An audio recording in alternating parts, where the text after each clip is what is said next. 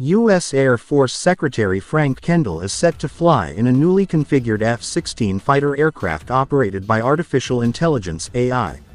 Speaking before U.S. senators on Tuesday, Kendall said he volunteered to be a passenger because he wants to see for himself how the AI-controlled plane performs in the air. He will be accompanied by a trained pilot but both will just be watching, as the F-16 demonstrates its autonomous capability. Hopefully, neither he or I will be needed to fly the airplane, Kendall remarked. The much-anticipated flight test will take place later this year.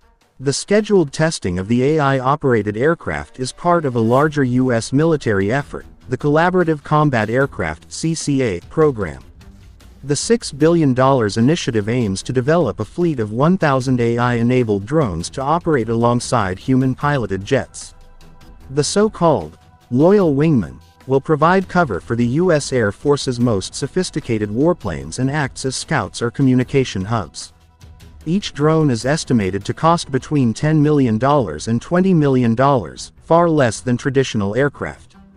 It could also be smarter, more efficient, and able to perform riskier maneuvers than existing aircraft. Products of the CCA project are planned to be operational by 2028.